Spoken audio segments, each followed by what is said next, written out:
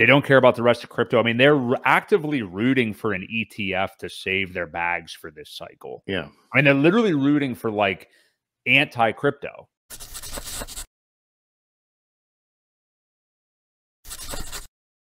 And then uh, again, Richard tweeting about so we've seen the IRS and the SEC rulings that um, are coming up that you could have submitted comments on that those are now expired. Comments would have been due. But uh, now tweeting about this FinCEN policy against mixers. So, you know, you hear about crypto mixers, Tornado Cash comes to mind. That's one that they kind of just unilaterally went after and threw. They threw the guy in jail, right? Yeah, that, I think uh, he's still there. Yeah, I haven't heard anything about him getting out. I, I you know, I think they they threw him in jail and were, he was supposed to get some sort of trial, but I don't know that it's even happened yet. Right. Well, this is applicable to those kind of scenarios. So, um, if you check Richard tweets from the other day, I'll see if I can grab it. I have it in my bookmark tweets, but uh, it's the proposal of special measure regarding convertible virtual currency mixing as a class of transactions of primary money laundering concern. In other words, um, they're trying to ban anything that's a mixer because they think it's only going to be money laundering and things Right. like that. Comments on it are not due until the 22nd of January. So you've got like 50, I don't know, 55 days or something like that. Yeah. Um, but essentially, what Richard was trying to say is it's a violation of your Fourth Amendment rights. And I have the link to the actual thing right here. So I'll go ahead and drop that in if anybody wants to check it out and kind of go the same route that we did with the other things. But it's it's a good one to to check out as well. I mean, like this is this is the funny thing is he's tweeting about all these policies, you know, from again these three letter FinCEN, I guess six, but these agencies within the United States that are, you know, trying to. He knows that different types of regulation is coming. The, the thing is, a lot of these people in crypto are not talking about what those specific regulations are, who are the ones coming after it, what they're trying to impose.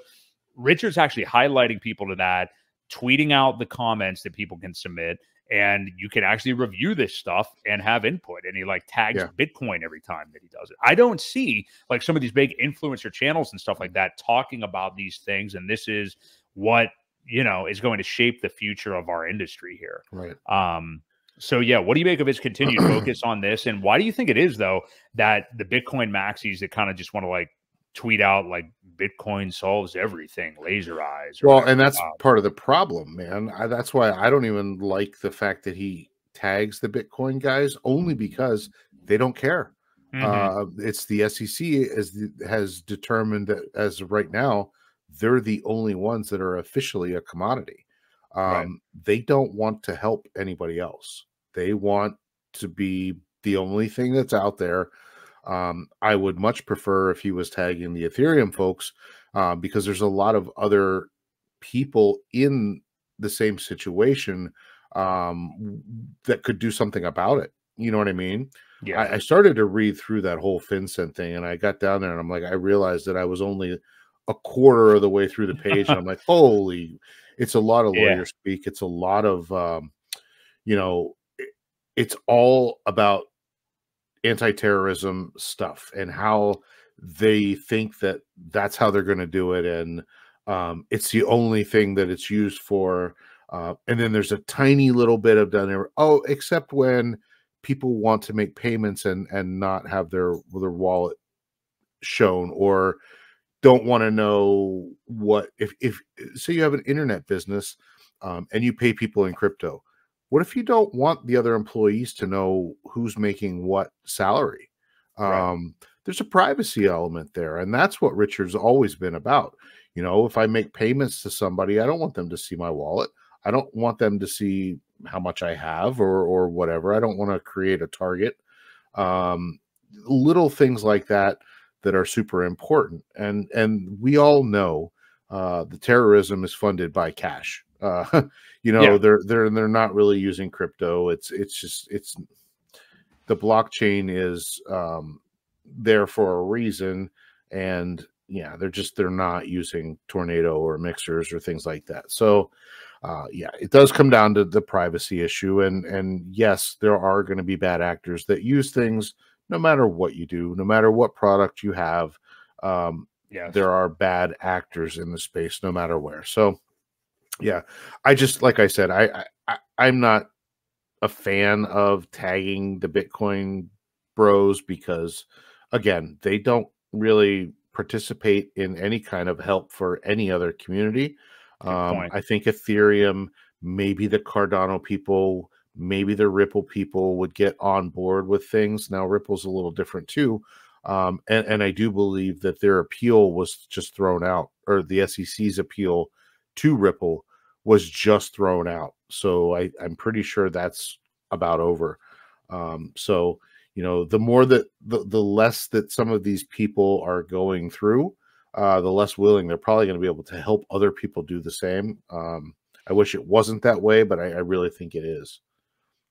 Yeah, I am with you, and I do understand where you're coming from with tagging the Bitcoin Bros, um, because they don't care. They don't give a shit about Richard Heart. They don't like Richard no. Heart, and they don't they don't care about the rest of crypto. I mean, they're actively rooting for an ETF to save their bags for this cycle. Yeah, I mean, they're literally rooting for like anti crypto at yeah. this point. Um, so man, I, I, don't really know what to. T- I, I don't understand the hypocrisy with that group or that bunch.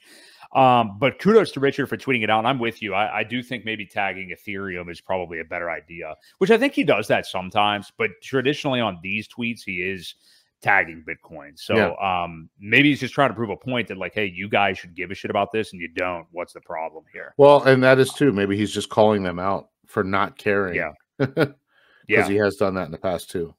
I think that very well could be it. But yep. um, either way, for you guys watching who do actually care about this stuff, um, there is the link in the chat. I did post it if you want to check it out um, and go ahead and submit comments for that as well.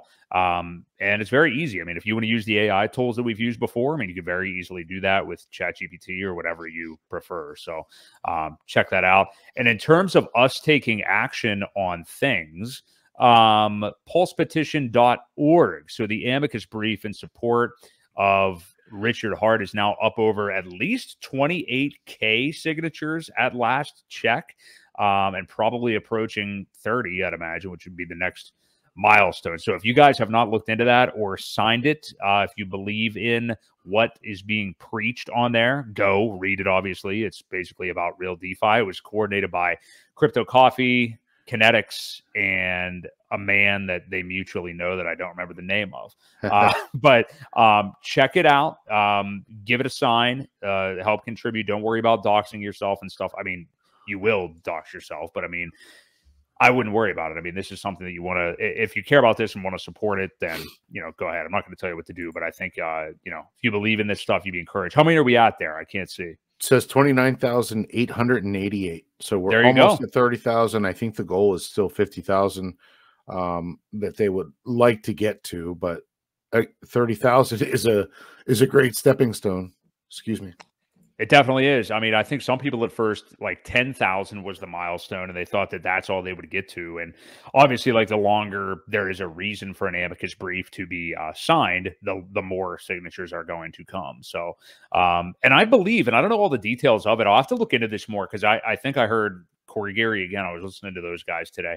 Um, I think I heard that the amicus brief that was filed on behalf of XRP um, the judge actually took very seriously and had a lot of signatures. I'll have to look into that. I don't want to speak out of turn, but it would be interesting to see that as mm. well. And I imagine some of these judges, if they're honest, which you know they are human beings, so who knows, and former lawyers many times. Um, but you know, if they are honest, and you are dealing with this crypto stuff that you yourself likely don't very know much about, it'd be good to take into account something like an amicus brief yeah. um, from people who do know what they're talking about. At the very least, would make you open your mind to say, like, okay, they're talking about DeFi here. They're talking about PulseChain, but these guys in this in this lawsuit said that PulseX is on Ethereum. I don't understand what's going on here. So it might be good to like hear other people's side who actually know what's going on too. Absolutely. Um,